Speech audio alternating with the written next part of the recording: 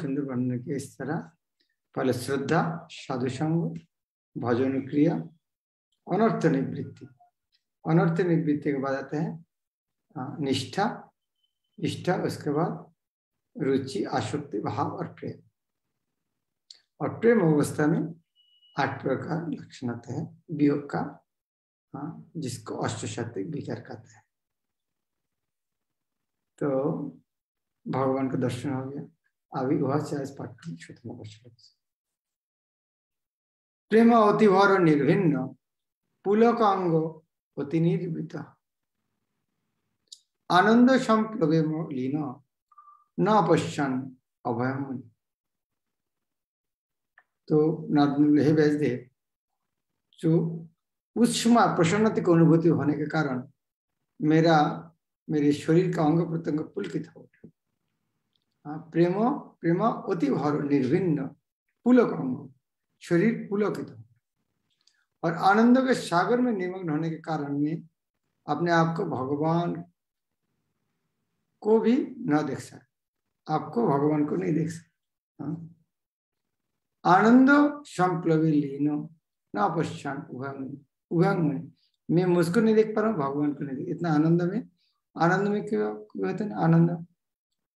आनंद मग्न होते सब भूल जाते हैं।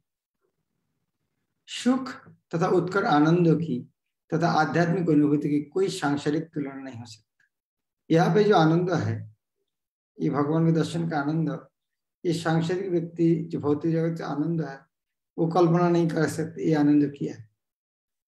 अतः इसे अनुभूति व्यक्त कर पाना अत्यंत कठिन होता है। तो ये वर्णन करना भी मुश्किल हो क्योंकि सांसारिक जगत में इस तरह आनंद नहीं मिलता है। इसीलिए सांख्यिक आदमी को सामने व्याख्या करना भी मुश्किल है। ऐसे आनंद की एक झलक हमें श्री नारद मुनि के शब्द से मिल सकती है।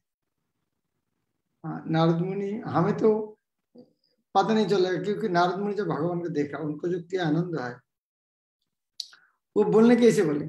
जिस तरह कोई मिठाई खाया मेरा बहुत अच्छा लग रहा है। तो दूसरा आदमी जो मिठाई खाए नहीं, उनको कैसे समझेंगे तो इसी तरह नारद मुनि को जो आनंद मिला है तो हमें समझ में नहीं आएगा।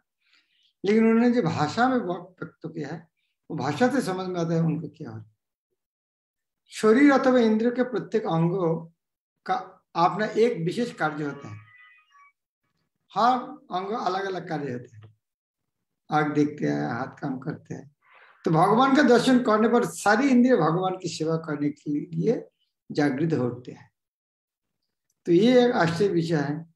आँखों से भगवान देखने से सारी इंद्रिय भगवान के सेवा में सेवा करने जाते हैं।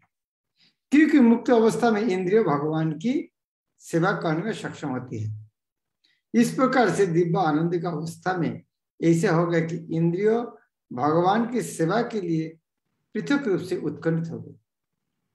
भगवान को दर्शन करने से सारे अलग अलग इंद्रिय भी भगवान को सेवा करने के लिए उत्कृत हो।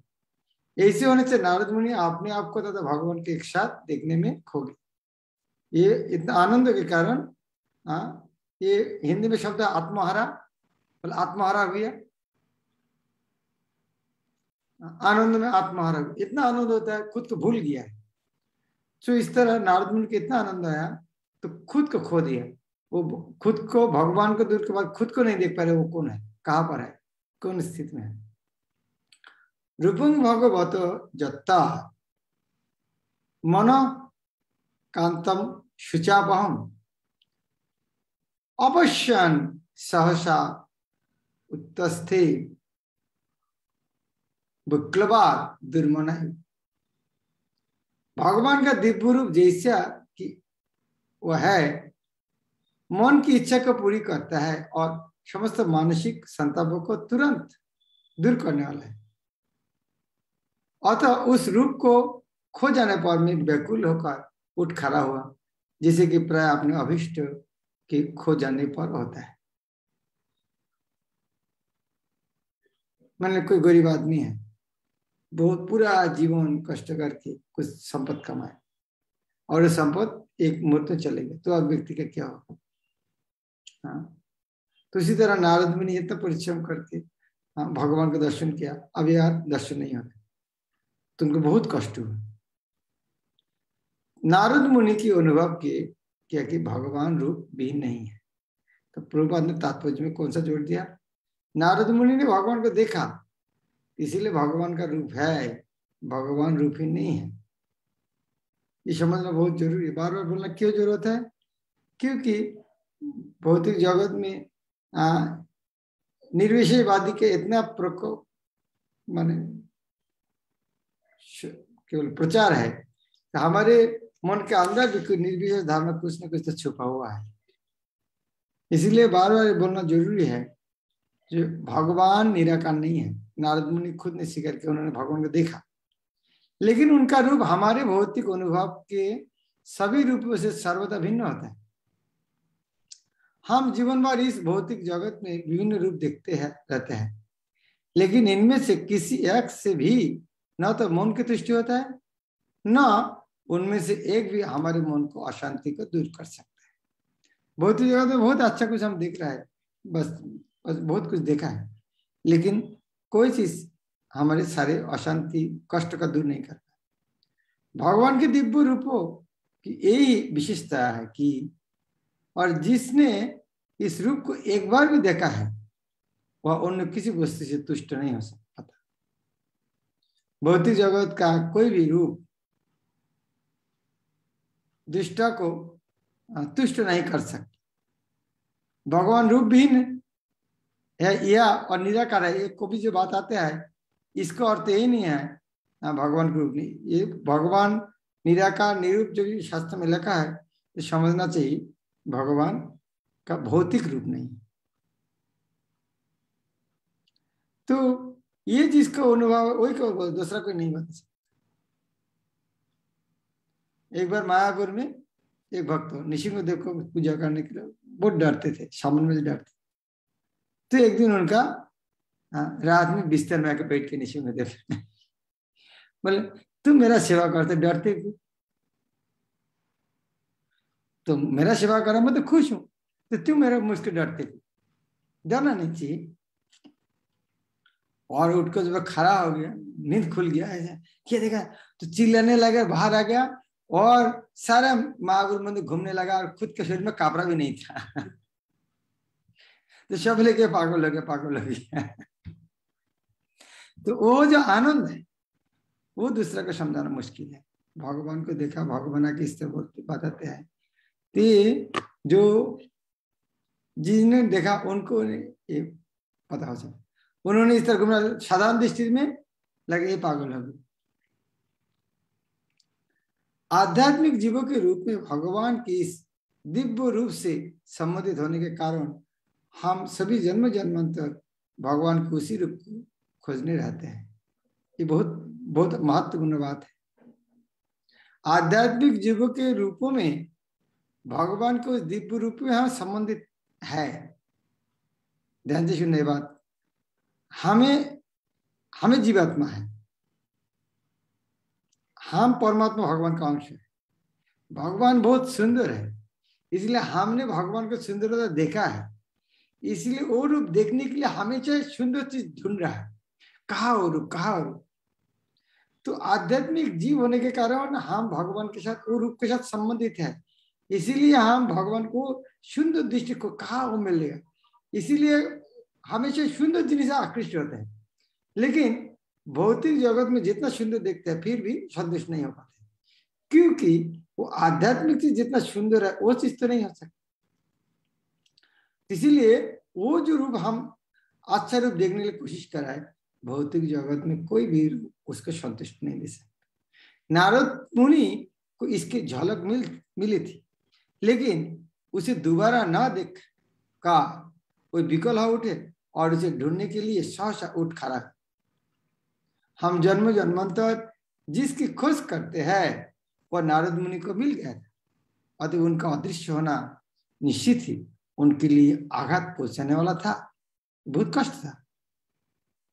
तो फिर मान लीजिए उठे घूम के देखने देखने की कोशिश कर रहा है तो क्या करेंगे?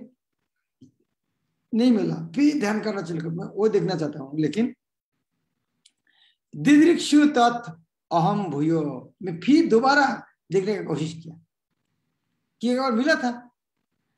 दिदिश्यु तत् अहम भूयो। प्रणिधाय मनोरिधि। भिक्षमानम अपि न अपश्याम। अभितृप्त इव आतुर। मैंने भगवान को दिदिक्षु तत् अहम फिर मैं फिर दूसरा बार देखने के लिए कोशिश करा। लेकिन आपने हृदय में एकाग्र होकर उस रूप का दर्शन करने के सारे प्रयास के बावजूद मैं उन्हें फिर से ना देख सका। इस प्रकार असंतुष्ट होने पर मैं आध्यात्मिक संतप्त हो गया। भिक्ख मानव भी देखने के लिए बहुत प्रयास किया। न पश्चान नहीं देख पाया न पश्चान अद्वितीय इव आतुर और बहुत अतृप्त होगा। आतुर बहुत दुखी हो गया था। भगवान के रूप को देखने की कोई यांत्रिक विधि नहीं हो सकती। या पूर्ण रूप से भगवान को हेतु कृपा को निर्भर करता है। हाँ भगवान को से मांग नहीं सकते। हमारे सामने आपको कुछ होना ही पड़ेगा नहीं हो सकता। पूर्व सुंदर विधान देता है। सूरज। सूरज को बोलेंगे, आप उठ जाओ, हमारे सामने नहीं हो सकता। ठीक जैसे कि सूरज से हम यह मांग नहीं कर सकते कि हमारी इच्छा अनुसार आप उदय हो सूर्य उनका खुद की इच्छा से उदय होता है।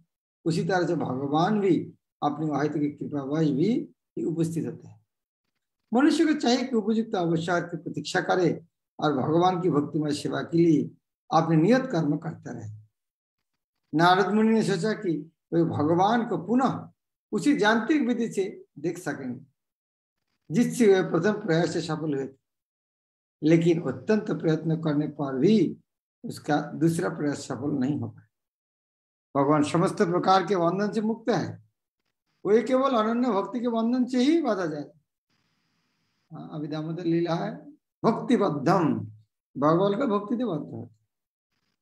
वो न तो हमारी इंद्रिय द्वारा दृश्य है न अनुभव गम्य है। अनुभव भी नहीं कर सकते। वो जब भक्तिमय सेवा के निष्ठावान प्रयास से प्रसन्न होते हैं और जब चाहते हैं तब स्व इच्छा से ही देखते हैं।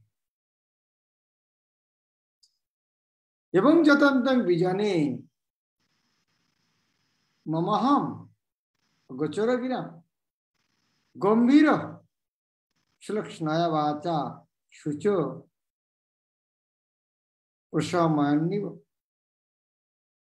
एक एकांत स्थान में मेरे प्रयास को देखकर समस्त लौकिक वर्णन से पहले भगवान ने मेरे शोक को दूर करने की अत्यंत गंभीर गंभीर तथा सुखद वाणी से मुझे कहा हाँ।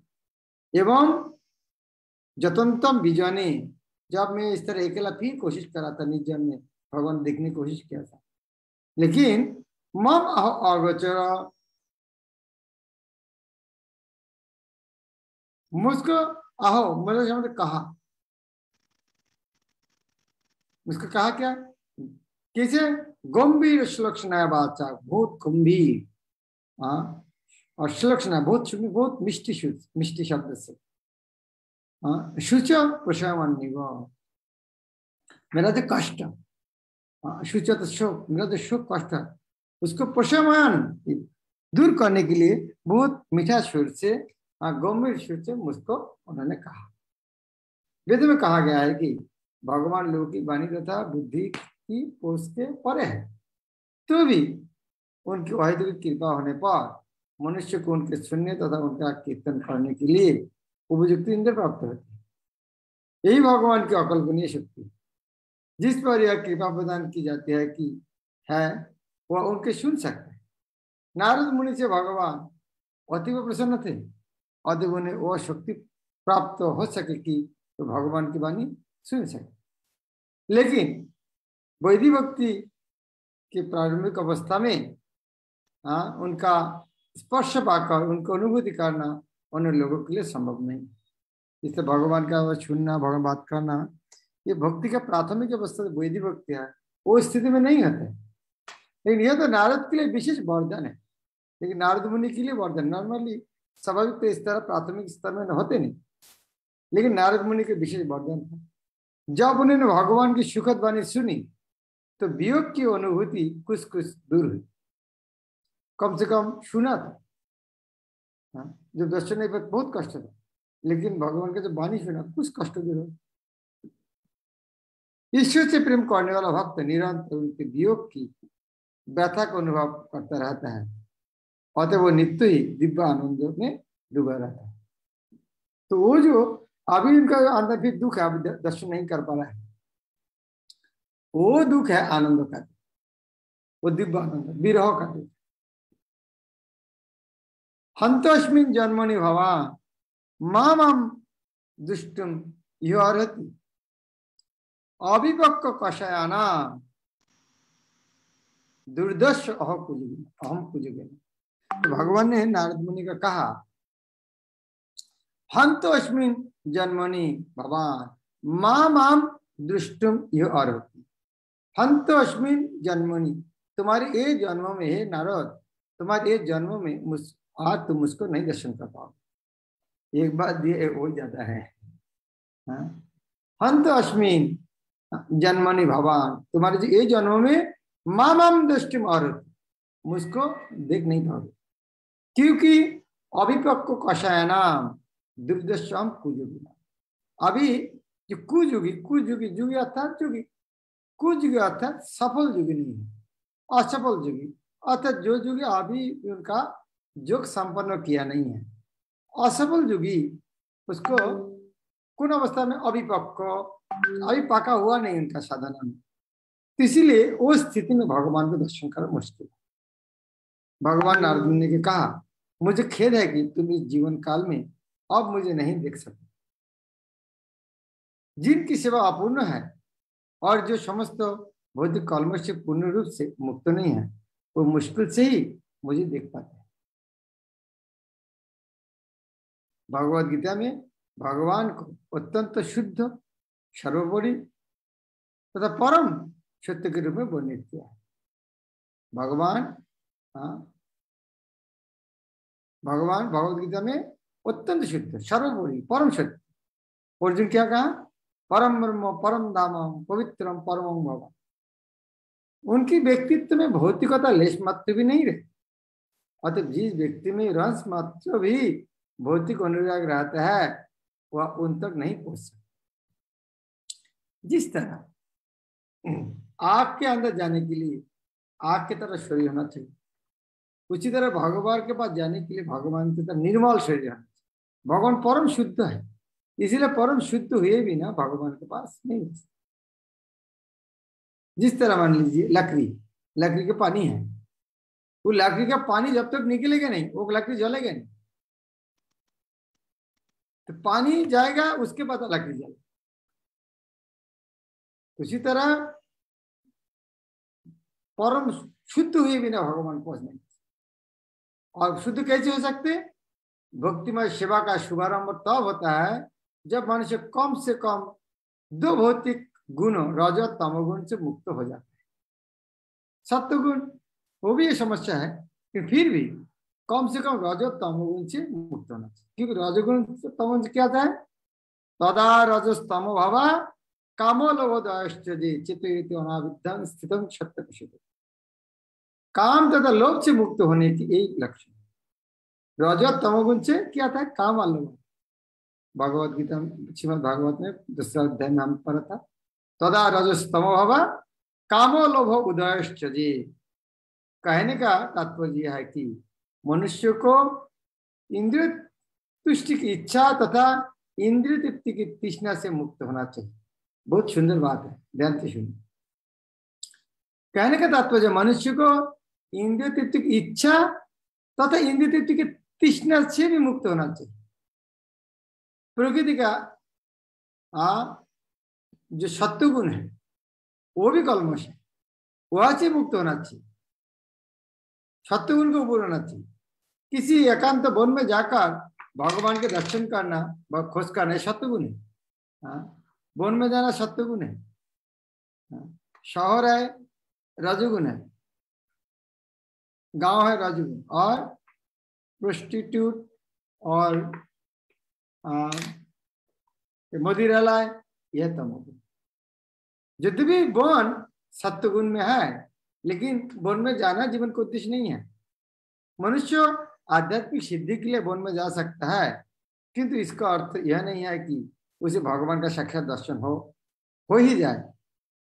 मनुष्य को समस्त भौतिक आसक्ति से रहित होना चाहिए और अध्यात्म के धरातल पर स्थित होना चाहिए। तभी उसे भगवान के सानिध्य प्राप्त हो सकता बन जाना लक्ष्य नहीं है। हृदय का निर्मल करना। बन जाने फ़ायदा क्या है? वह मोबाइल की इंटरनेट काम नहीं करेगा, ध्यान अच्छे से कर सकते लेकिन इस तरह नहीं बन जाने से भगवान का दर्शन होगा। लेकिन भगवान का मंदिर एक दिव्य स्थान होता है, जबकि वन भौतिक दृष्टि से उत्तम निवास स्थान है। वन से श्रेष्ठ है क्या? भगवान का मंदिर यह भक्तों को भी भगवान को खुश करने के लिए, जंगल जाने के लिए नहीं अभी तो भगवान के विग्रह पूजा करने के लिए कहा। तो भगवान को ढूंढ लेके वन में नहीं जाना है। भगवान को ढूँढने के लिए मंदिर में भगवान का सेवा करना भगवान की अर्चना से ही भक्ति का शुभारंभ होता है। और यह वन में जाने की अपेक्षा श्रेष्ठ है। वन में जाने की अपेक्षा भगवान का अर्चना। नारद मुनि का अपने वर्तमान जीवन में वन जाने की आवश्यकता नहीं है। क्योंकि अभी पिछले जीवन में नारद मुनि की ज़रूरत था, लेकिन ये नारद मुनि जीवन में और में गया गया था प्रचार करने के लिए, लेकिन तपस्या करने के लिए। क्योंकि वे समस्त भौतिक लालसा उसे मुक्त है, और अपनी उपस्थिति से ही प्रत्येक स्थान को वैकुंठ में बदल सकते वे मनुष्य देव, किन्नर, गंधर्व ऋषि मुनि तथा उन भगवान को भक्त बनाने के लिए एक लोक से दूसरे लोक में विचरण करते रहते। उन्होंने अपने कार्यकलाप से ही प्रहलाद महाराज, ध्रुव महाराज जैसे अनेक भक्त को भगवान के दीप स्वर लाए। अतः भगवान के शुद्ध भक्त नारद तथा प्रहलाद जैसे महान भक्त के चरण चिन्ह पात पर चलना है और कीर्तन की प्रक्रिया के द्वारा भगवान की महिमा का गुणगान करने में अपना पूरा समय लगता है। इसीलिए आचार्य का दृष्टि में देखना चाहिए। हमें नारद मुनि का कहानी पढ़ के क्या लगता है? चलो हमको थोड़ा वन में जाएँगे तो अच्छा। नारद मुनि की कहानी पढ़ के क्या लगे? हमको भी नारद मुनि मानने के लिए कहा जाना पड़ेगा? वन में जाएँगे। लेकिन पूर्व तात्पर्य में कहा देखो पिछले जन्म में नारद मुनि वन में गया था, लेकिन ये जन्म में नारद मुनि ध्यान करने के लिए गया नहीं। ये जन्म में नारद मुनि क्या किया? केवल भगवान का नाम प्रचार किया। तो हमको वन में जाना कोई ज़रूरत नहीं है। केवल भगवान का नाम प्रचार करना हरे कृष्ण महामंत्र और पूर्वपात का ग्रंथ वितरण करना है। हाँ वन में जाने से बहुत बड़ा काम। इसी उपदेश विधि समस्त भौतिक गुण से परे है। सकृत जत दर्शितम रूपम एतत् कामाय ते अनघ। मत कम सनोपी साधु, सर्वान मुंचुति तो भगवान मुनि बोलता है, तुमको और में नहीं दर्शन देगा, क्योंकि ये आसक्ति के लिए हे। निष्ठा पुरुष, तुमने मुझे केवल एक बार देखा है, और मेरे प्रति तुम्हारी इच्छा को उत्कट बनाने के लिए, क्योंकि तुम जितने ही अधिक मेरे लिए ललायित होगे, उतना ही तुम समस्त भौतिक इच्छा से मुक्त हो सके। जितना है ललायित होगा, उतना ही मुक्त हो सके। इसीलिए हाँ ये जो भगवान क्यों दर्शन दिया तो इस तरह नारद मुनि पूर्ण शुद्ध हो गया था। नारद मुनि उत्सुकता होगा, दिखने लालसा बढ़ेगा और शुद्ध हो जाएगा। जीव कभी भी इच्छा से रहित नहीं हो सकता। क्योंकि वह मृत जरा बात तो नहीं है। उसे काम करना, सोचना, अनुभव करना तथा चाहना, कुछ तो करना होता है। किंतु जब वह भौतिक दृष्टि से सोचता, अनुभव करता तथा तो चाहता है तो बंधन से जकड़ता जाता है। किंतु इसके विपरीत, जब वह ईश्वर की सेवा के लिए सोचता, अनुभव करता तथा चाहता है तो वह धीरे धीरे समस्त बंधन से मुक्त होता जाता है। मनुष्य जितना ही अधिक भगवान की भक्ति में लगाता है, लगता है वह उतना ही अधिक उसके लिए लालयित है। दैवी सेवा की यह दीपक प्रकृति भौतिक सेवा की तृप्ति हो जाती है, जबकि भगवान का आध्यात्मिक सेवा न तो तृप्ति होता है, न उनका कोई हाँ अंत है। मनुष्य भगवान के दिव्य प्रेम भक्ति के प्रति अपनी लालसा बढ़ता जा सकता है। लेकिन उसे अपनी तृप्ति या उसका अंत नहीं देखता भगवान की उत्कट सेवा में, सेवा से मनुष्य को भगवान की दिव्य उपस्थिति का अनुभव हो सकती है। अतः भगवान का दर्शन करने का अर्थ है उनके सेवा में लगना, क्योंकि उनके सेवा तथा स्वयं भगवान अभिन्न अतः भगवान के दर्शन करने का अर्थ है उनके सेवा में लगना। ये केस है। भगवान के देखने सेवा है। हाँ जस्ट सोच लीजिए। आप घर में आकर माँ को बोले माँ, मैं आज ट्रेन में आ रहा था। हाँ मेरा पास में आके पेशेंट आके बैठा था। तो माँ क्या पूछेंगे अच्छा क्या सेवा किया उनको? टेलीफोन नंबर ले लेगा। उन खुश किया सेवा करके। तुरंत ही बस पूछेंगे। तो उसी टाइम में पता चलेगा, अरे हाँ ये बात तो सही है। भौतिक जगत में ये चीज़ समझ में आता लेकिन भगवान की चीज़ समझाना पड़ेगा। अरे, भगवान देखने सेवा करना पड़ता है क्या? हाँ और तो भगवान के दर्शन करने का अर्थ है कि उसकी सेवा में लगना है। भगवान है, उनकी सेवा है। क्योंकि उनकी सेवा तथा स्वयं भगवान अभिन्न। और जब भगवान की सेवा होते हैं, वो तो दर्शन ही है। निष्ठावान भक्त को भगवान की नैष्ठिक सेवा करते रहना चाहिए। भगवान उचित दिशा निर्देश करेंगे कि कहा तथा कैसे भगवान सेवा की जाए। नारद में कोई भौतिक इच्छा ना थी, लेकिन भगवान की उत्कट इच्छा को बढ़ाने के लिए ही भगवान ने इसी सलाह दी। यह पूर्वत कहता है, नारद मुनि की भौतिक इच्छा नहीं थी, लेकिन उनका इच्छा और बढ़ाने के लिए दर्शन दिया था। तो यहाँ आगे बोलते ये जो भगवान को इस तरह देखने का सौभाग्य होता है, इसको कहा से मिलता है?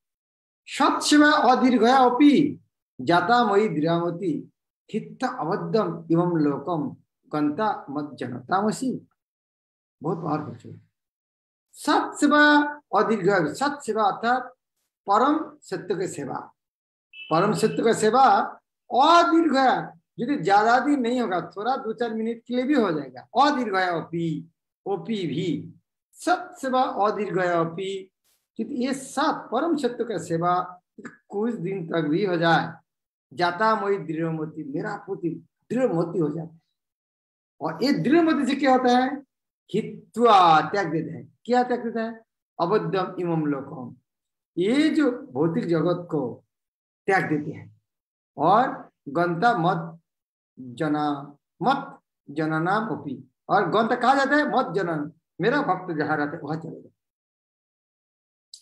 उस काल तक यदि थोड़ा कुछ टाइम के लिए भी परमेश्वर भगवान की सेवा करने, करते हैं तो भक्त, मुझमें दृढ़ एवं अटल बुद्धि प्राप्त करते हैं फलस्वरूप, वह इस शोचनीय भौतिक जगत को त्यागने के बाद दिव्य जगत में मेरा पार्षद बनता है।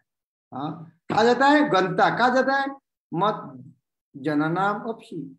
माँ, मेरा भक्त जहाँ रहता है, वहाँ चले जाता परम सत्य की सेवा करने का अर्थ है प्रामाणिक आध्यात्मिक गुरु के मार्गदर्शन में परम भगवान की सेवा करना।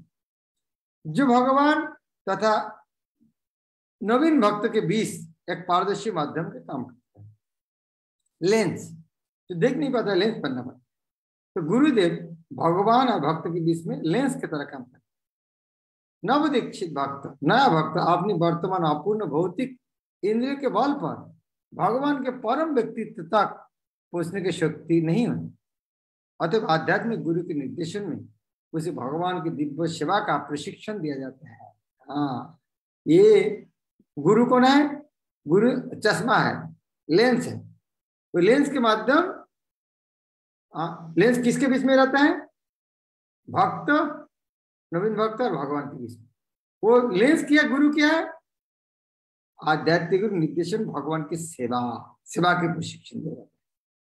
इस सेवा के माध्यम से, इस तरह के प्रशिक्षण से भले ही वह कुछ दिनों को ही क्यों ना हो। तो भक्तों को ऐसी दिव्य सेवा के बुद्धि प्राप्त हो जाती है, जिससे वह अंततः भौतिक लोक में निरंतर वास करने से मुक्त हो जाता है और आध्यात्मिक विश्व तक उन्नत होकर भगवान के मुक्त पार्षद बनता है। तो इस तरह नारद मुनि खुद को वाले वर्णन कर किस तरह भगवान का दर्शन हुआ। और भगवान के किस तरह दर्शन? हाँ, फिर दर्शन नहीं हुआ उसके लिए क्या करना चाहिए? नारद मुनि ने खुद का जीवन से हाँ, उदाहरण हरे ओके हाँ तो चाहे पीएलए माता जी। हरे कृष्ण महाराज कल के क्लास से महाराज श्लोक नंबर सिक्सटीन में जो आठ प्रकार की उर्मी है ये कौन कौन से है? आठ प्रकार आप विकार है आ, उसका नाम है स्तंभ पिलर के तरह खड़ा हो जाना। दूसरा शरीर में पसीना आ जाना। तीसरा है कप कंपन। चौथा है रोंगटे खड़ा हो जाना। हाँ, शरीर पीला हो जाना। अस्थि संधि खोल जाना। और अंतिम में मूर्छा अनकॉन्शियस हाँ वो कहा से शुरू होता है? अष्टशक्ति विकास तो हाँ।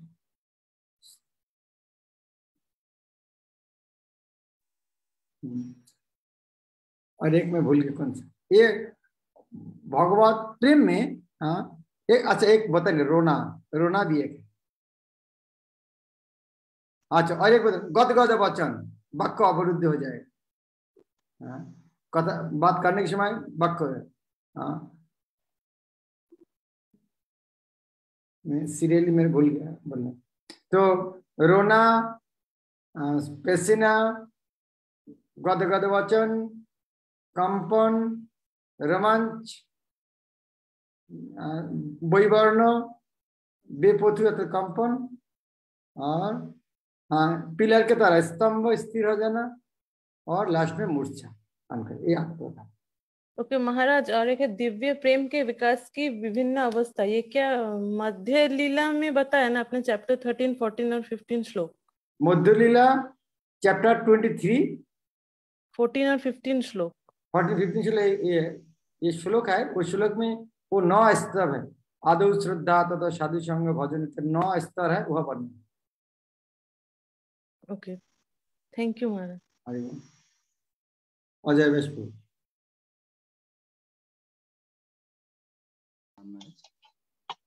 दंडत प्रणाम महाराज। हरे कृष्ण महाराज महाराज अभी जो आपने लेंस वाला जो बताया तो एक जैसे प्रभात एक स्टेटमेंट देते हैं कि like Guru does everything student मतलब शिष्य नहीं करते हैं। तो प्रभात बोलते हैं, जैसे कि लेंस नहीं देखता है, आँखें देखती है। तो आँखें गुरु है और लेंस शिष्य है। तो महाराज, उसमें और जो अभी आपने बताया है, उसमें कुछ संबंध है या कुछ डिफरेंस है हमारे अभी? समझा नहीं, क्या प्रश्न? आगे बोलिए महाराज अभी आपने जैसे एक एग्जांपल दिया था ना लेंस वाला महाराज? हम्म। तो हाँ, लेंस, लेंस देखने की मदद करता है। जीवात्मा को खुद को जिस तरह आ, लेंस लेंस देखते नहीं है देखते आग देखते हैं। उसी तरह जीवात्मा को देखना है। सहारा लेने का गुरुदेव का गुरुदेव को उपदेश सेवा। अच्छा तो महाराज इस केस में लेंस जो है वो गुरुदेव का उपदेश है लाइक हाँ? गुरुदेव का उपदेश। अच्छा अच्छा अच्छा अच्छा यस महाराज मतलब ये दो एनालॉजी हैं अलग अलग स्थान पे यूज़ की गई थैंक यू सो मच महाराज डन थैंक यू माता जी आप गुरुदेव ही लेंस बोल सकते गुरुदेव अत्यत क्या गुरुदेव उपदेश नहीं सुना फिर गुरुदेव क्या है। गुरुदेव को बात नहीं सुनते फिर गुरुदेव कौन सा काम है? हरे कृष्णा महाराज जी दंडक महाराज जी, श्लोक नंबर इक्कीस से क्वेश्चन पूछ रहा था जो इनमें आपने जो तेवीस का तो उसके प्रति वो जो आपने बताया तो गुरु महाराज जी के प्रति ग्रेटफुलनेस आ रहा है। कितना म्हणजे गुरु महाराज जी की कृपा से यहाँ पर रहकर भगवान की सेवा करने का मौका मिल रहा है, कार्तिक मास में अगर और भी कुकिंग वगैरह तो गुरु, सेवा करने की योग्यता है नहीं तो फिर भी गुरु महाराज जी कृपा से मिल रहा है वो। और महाराज जी, जो श्लोक नंबर इकतीस है जिसमें इंद्र तृप्ति की इच्छा और तृष्णा के बारे में बताया। तो ये तो मैं मेरे लिए बोल रही हूँ, ये दोनों मेरे अंदर है और भगवान के प्रति सेवा करने की इच्छा भी रहती है। पर मैं देखूँ कि भगवान की सेवा करने की डिज़ायर तो बन नहीं रही है, पर ये जो इंद्र तृप्ति की इच्छा और तृष्णा, वो ज़्यादा बढ़ते जा रही भौतिक चीज़ों को, उसको कैसे कम किया जाए? एक एक बर्तन में यदि हंड्रेड लीटर आप पानी भरोगे तो हंड्रेड लीटर में भर सकते उसके अंदर हंड्रेड लीटर पानी है तो उसको अंदर हंड्रेड लीटर दूध भरोगे तो हंड्रेड लीटर खाली करना पड़ेगा नहीं तो कैसे हो दोनों से एक साथ नहीं भरते इस, इसको हंड्रेड लीटर उसको हंड्रेड लीटर वो तो नहीं होगा। तो हंड्रेड लीटर दूध से भराने के लिए तो उधर कम तो होना ही पड़ेगा। यदि उधर में कम नहीं हो रहा है तो दूध नहीं भर रहा है। यदि हृदय में कामना वासना है तो इसका तो भक्ति नहीं हो रहा है दोनों कैसे हो सकते भोग नहीं हो। अंधेरा और लाइट दोनों एक साथ नहीं रह सकते। पूर्व दिख जितना जाओगे, पश्चिम दिख उतना दूर जाएगा। पश्चिम दिख आप नहीं दूर जा रहा जीपीएस में देख रहा है वो है तो सोचना पड़ेगा, हम गाड़ी वहाँ घुमा रहे हैं।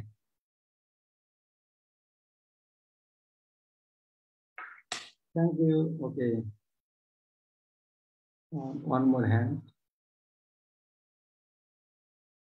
अच्छा। और बुक हैंड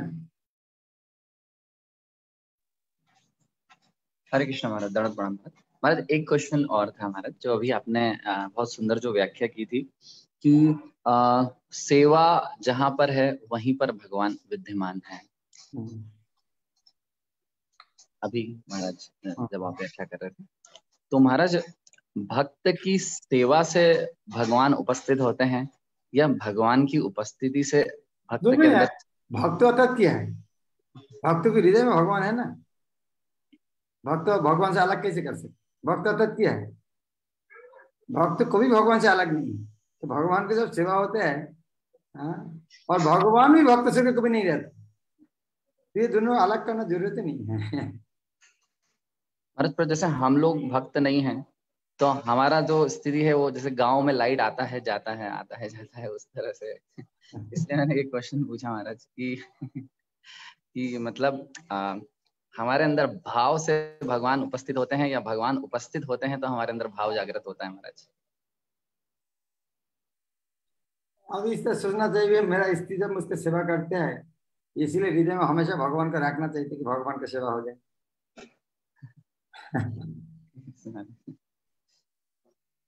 जब दूसरे को सेवा ले रहा है इसीलिए हृदय में हमेशा भगवान को रखना चाहिए था कि मेरा सेवा के माध्यम उनके भगवान की सेवा करने का मौका Yes, ma'am. Okay. Yes. Thank you so much, ma'am. Hare Krishna, Shri Prabhupada, Bantara Srimad Bhagavad. की जय धन्यवाद प्रणाम हरे कृष्ण महाराज धन्यवाद प्रणाम